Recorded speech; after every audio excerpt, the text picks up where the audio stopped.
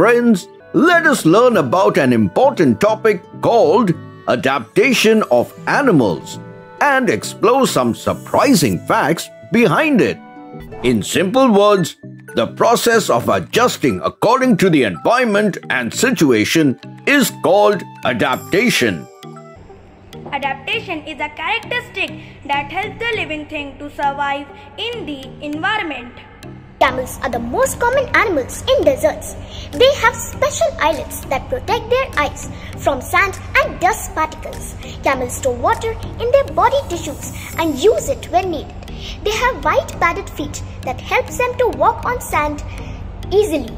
The polar bear's white fur helps it to blend into the snow and ice. It also has a layer of fat which helps it to keep warm. Penguins have streamlined bodies and web feet for powerful swimming. Their wings are modified into flippers which help them to swim underwater.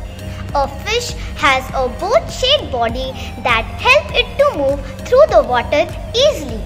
Fins help the fish to swim and the tail fins help to change direction.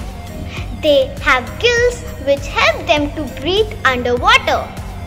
Camouflage is an adaptation in animals so that they cannot be easily seen by their predators.